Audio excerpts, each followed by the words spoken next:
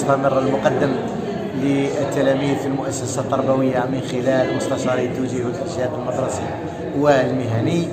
آه، يندرج آه، هذا المعرض آه، وفعاليات هذا الأسبوع الوطني للإعلام الذي تمتد فعاليته من 4 أفريل إلى غاية 8 أفريل وبالموازاة في المؤسسات التربوية من 4 إلى 15 أفريل الهدف من هذا المعرض هو استقبال الجمهور الدارس والغير دارس طبعا الجمهور الدارس نعرفوه بمستجدات النظام التربوي بطريقة القبول بطريقة التوجيه متطلبات ومنطلقات الشعب المتوفرة في التعليم الثانوي.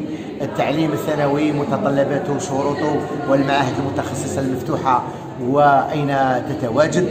بالنسبة للجمهور طبعا الجمهور الدارس كذلك نقدموا له من خلال آه، برنامج زيارات منظم مع آه، مدراء الثانويات آه، لاستقبال التلاميذ نقدموا لهم ندوات ومحاضرات يؤطرها مستشاري التوجيه المدرسي والمهني مختصين في هذا المجال يوقفوا معهم دعم نفسي تحضيرا لشهادة البكالوريا لإزالة مختلف المشاكل المتعلقة بالقلق الخوف إزاء هذه الامتحانات الرسمية. طبعا الجمهور غير دارس كذلك نستقبلوه في المعرض باش نعرفوه على التوجيه المدرسي آه، أهدافه غاياته مراحله آه، أبوابه آه، فترات تقديم الاعلام التوجيه التقييم في النظام التربوي. نعرفوه كذلك الجمهور غير دارس بمستجدات النظام التربوي بفترة الامتحانات بالنسبة للأولياء الاولياء التلاميذ. فترة امتحانات الرسمية كذلك الأولياء.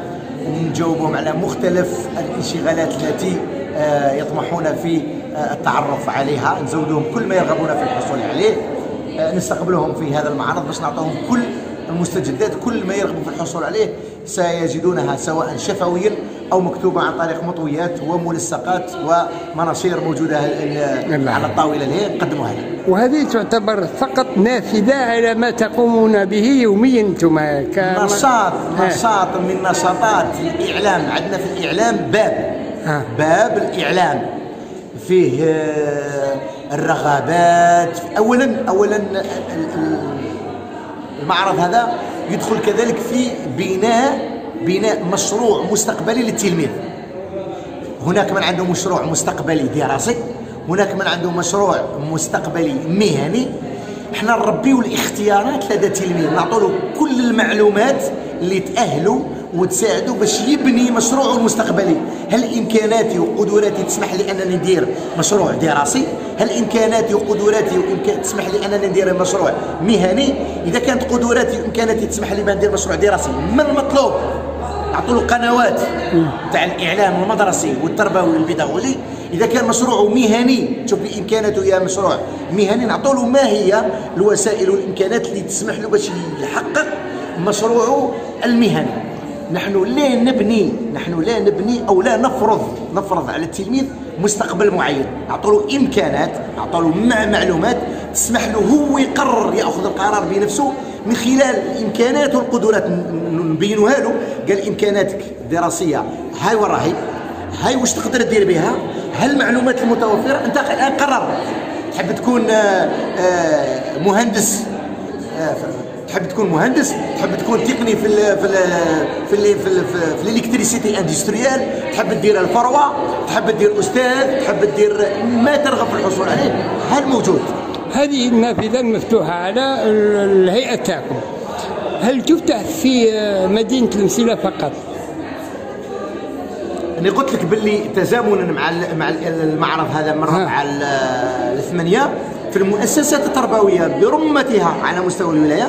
لأن في كل ثانوية وفي كل متوسطة الآن ولله الحمد أصبح فيه وجود مستشار التوجيه والإرشاد.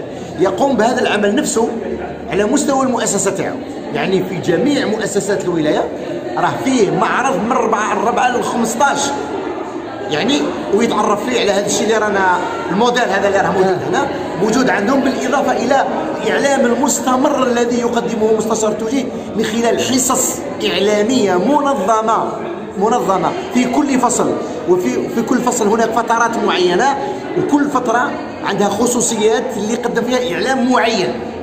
قال نعطي له إعلام على طريقة القبول نعطي له معلومات على طريقة التوجيه نعطي له معلومات على متطلبات الشعب نعطي له معلومات على منطلقات الشعب نعطي له معلومات على التكوين المهني. بمعنى آخر.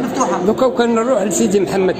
ولا نروح لبلديه آه، وتشير ولا محمد بوضياف وينها المتوسطة اللي راها قايمة بهذا الدور كل بالنسبة متوسطة كل متوسطه كل متوسطة على حدة. اليوم- موجود فيها مستشار توجيه يقوم بهذا ولمدة أربعة أيام. لمدة 15 يوم. آه وي.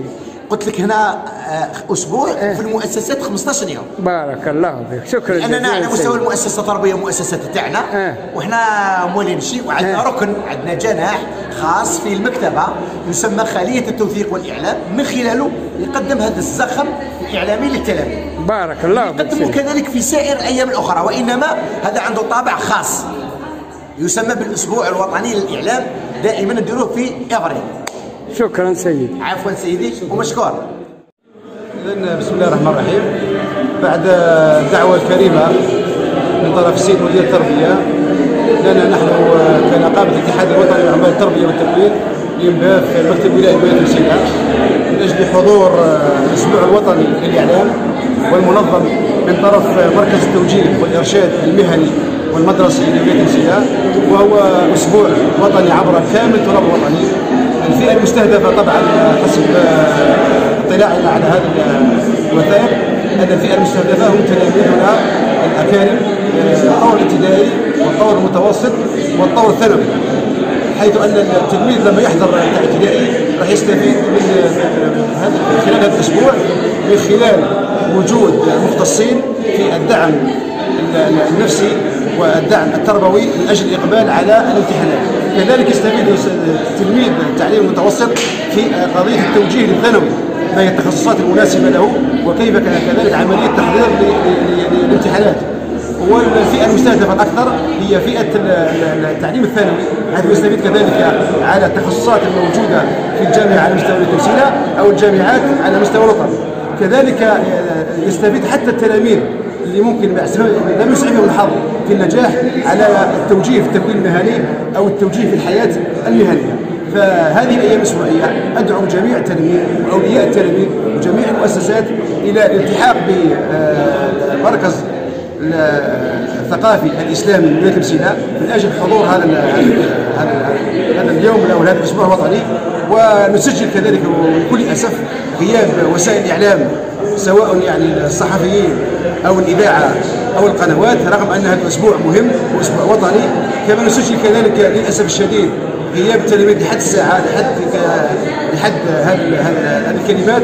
لم يحضر التلاميذ لأسباب نجهلها كذلك للأسف لعدم حضور السلطات يعني المعنية وخاصة أن الفئة المستهدفة هم تلاميذنا ونحن نعلم أن ولاية تمثيله فيها مشكلة في الترتيب في النتائج على مستوى الوطن. لذلك أدعو جميع السلطات المحلية بجميع فئاتها الاسلاك الأمنية الاسلاك تاع الولاية اسلاك التربية طبعا راح فتح راح حضر وفتح ال- ال- هذا الملتقى هو مشكور لكن الجهات الاخرى جهة الشركاء الاجتماعيين الآخرين الذين يحضروا ويشجعوا هذا الانجاز لأنه فيه خسائر مادية وفيه جهد مادي مبذول وفيه جهد آه، بدني مبذول من طرف زملائنا في قطاع التربيه وخاصة مستشاري التوجيه والارشاد نشكرهم على هذا على هذا الإنجاز وهذا العمل.